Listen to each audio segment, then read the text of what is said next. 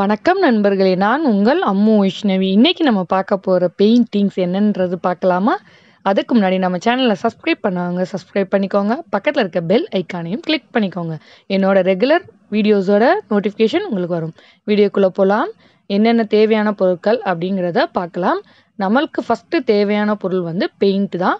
நான் camel company paint use பண்ணுறேன் நீங்கள் வந்து ஃபெவிக்ரில் எதுனாலும் யூஸ் பண்ணிக்கலாம்.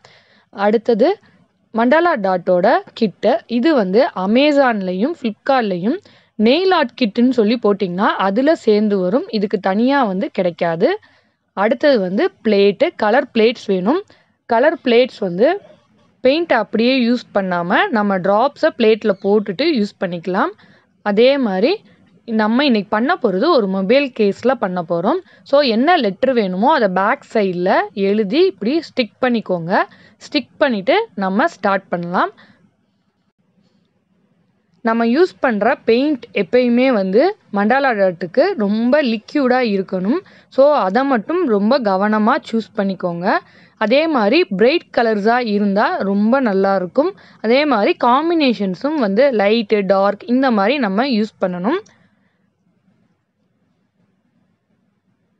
இப்போ ஃபஸ்ட்டு நான் க்ரீன் எடுத்திருக்கேன். க்ரீனை வந்து ஃபுல்லாக ஃபில் பண்ணிவிட்டு நான் ஃபஸ்ட்டு டுட்டோரியல் போட்டிருக்கேன். அதில் வந்து நார்மலாக டாட்ஸ் எப்படி வைக்கலாம் இதில் அப்படிங்கிறத ஃபஸ்ட்டு டுட்டோரியலில் சொல்லியிருக்கேன். ஸோ அதை பார்த்துட்டு வந்துட்டு நீங்கள் இதை பண்ணீங்க அப்படிங்கும் போதில் உங்களுக்கு ரொம்ப ஈஸியாக இருக்கும். ஃபஸ்ட்டு டுட்டோரியலோட லிங்க்கை வந்து நான் டிஸ்கிரிப்ஷனில் கொடுத்துருக்கேன்.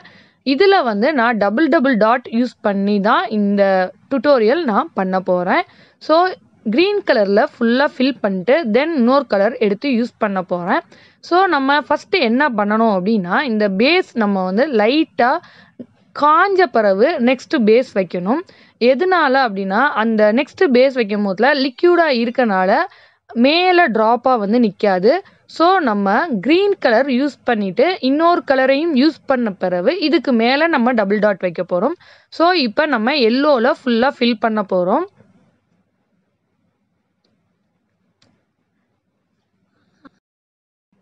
மண்டாலா டாட் கிட் யூஸ் பண்ணுறது தான் உங்களுக்கு ரொம்ப நல்ல யூஸ்ஃபுல்லாகவும் இருக்கும். அதே மாதிரி பெயிண்ட்டும் வந்து நல்லா டிப்பாகி அதில் ஃப்ளூயண்ட்டாக நிற்கும் நான் கை பிடிக்கிற வாகும் நல்லா கவனிங்க. அதே மாதிரி மண்டாலா டாட் பண்ணும் போதில் டாட்டோட அந்த கிட்டை வந்து ரொம்ப ஸ்ட்ரைட்டாக நீங்கள் பிடிச்சிருக்கணும். பிடிச்சிருந்தா அப்படின்னா தான் உங்களுக்கு வந்து ரவுண்டு ஷேப்பில் விழும். இல்லைனா ஈக்குவலாக விழவே விழாது. அதையும் ரொம்ப கவனமாக பண்ணுங்கள் இப்போ நம்ம எல்லோ ஃபில் பண்ண பிறகு அந்த க்ரீனுக்கு நடுவில் நம்ம திருப்பி எல்லோ பண்ண போகிறோம் ஸோ இருக்கிறதுல குட்டி பாயிண்ட் எடுத்து பண்ண போகிறோம் ஃபஸ்ட்டு பேஸ் போடும் போதில் இருக்கிறதுலே பெரிய பாயிண்ட் எடுத்துக்கோங்க. போட்டுட்டு அடுத்து எவ்வளோ குட்டியான பாயிண்ட் யூஸ் பண்ணாலும் நம்ம யூஸ் பண்ணிக்கலாம். அப்போ தான் வந்து ரெண்டு லேயரும் தனித்தனியாக தெரியும். இல்லைன்னா தெரியவே தெரியாது. மண்டாலா டாட் டாட் பண்ணும் போதில் அதே ஒரே ஈக்குவலாக வரணும் அப்படின்னா நீங்கள் ஒவ்வொரு தடையும் நீங்கள் அதில் டிப் பண்ணி டிப் பண்ணி எடுக்கணும். எடுத்தால் தான் வந்து அது ஒரே ஈக்குவல் டாட்டாக வரும். இல்லைன்னா வரவே வராது. மண்டாலா கிட்டில் வந்து ஃபஸ்ட்டு ஒரு ட்ராப் டிப் பண்ணிட்டு எடுத்துகிட்டு நம்ம கண்டினியூஸாக வச்சோம்னா பெருசுலேருந்து சிறுசாக தான் வரும்.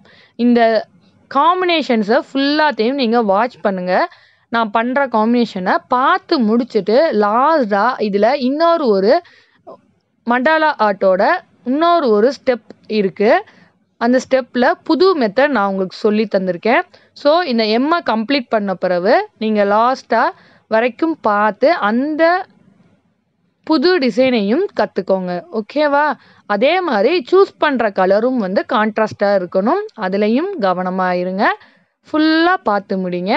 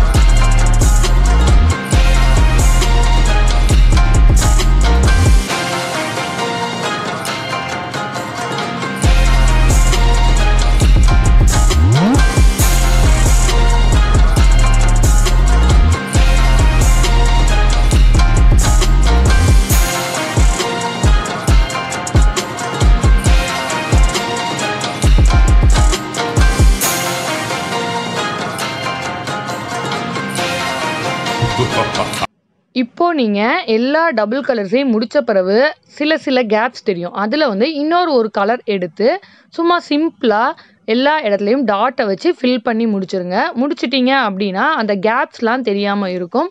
மண்டாலா டாட்டில் நம்ம சர்க்கிள் மட்டும்தான் கரெக்டாக போடணும். மற்றபடி நம்மளோட கஸ்டமைஸ்ட் டிசைன் தான் கலர் சூஸ் எல்லாமே வந்து நம்மளோட இஷ்டத்துக்கு பண்ணலாம். ரொம்ப கலர்ஃபுல்லாக இருக்கும். இப்போ நம்ம ஃபில் பண்ணிட்டோம். பேக்கில் இருக்க பேப்பரை ரிமூவ் பண்ண போகிறோம் யா ரிமூவ் பண்ணியாச்சு. இப்போ ரொம்ப கலர்ஃபுல்லாக இருக்கும்னு நினைக்கிறேன். உங்களுக்கு ரொம்ப பிடிச்சிருக்கா? நெக்ஸ்ட்டு வந்து இதோட பெரிய டாட் நம்ம எடுக்கணும் அப்படின்னா ஏதாவது பென்சிலோட பேஸ் இல்லை பென்னோட பேஸை வந்து சூஸ் பண்ணிக்கோங்க. அதில் வந்து நான் இப்போ ஒரு ரெண்டு சர்க்கிள் வைக்க போகிறேன் எம்மோட மேல் பக்கத்துலேயும் கீழ் பக்கத்துலேயும் வைக்க போகிறேன் வச்சுட்டு அதற்கு உள்ளேயும் நான் வந்து இன்னும் ஒரு ரெண்டு கலர்ஸ் வைக்க போகிறேன் மண்டாலா டாட்டில் வந்து அதில் வந்து பெரிய சர்க்கிள்ஸ் வந்து இருக்கவே இருக்காது. அதனால தான் நான் வந்து பென்னோட பேஸோ இல்லை பென்சிலோட பேஸோ இல்லை பட்ஸோ நம்ம யூஸ் பண்ணிக்கலாம்.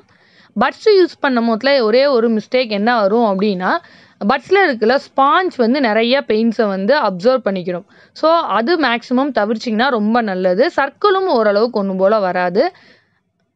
கலர்ஸ் வந்து லிக்யூடாக இருக்கணுன்றது நான் முதலே சொல்லியிருப்பேன். இந்த க்ரீன் கலர் வந்து லிக்யூடாக இல்லை. ஸோ நான் வேறு கலர் எடுத்து சூஸ் பண்ணுறேன் அதே மாதிரி லைட்டாக காஞ்ச பிறகு காஞ்ச பிறகு மேலே வைக்கும் போது தான் இன்னும் நல்லா இருக்கும்.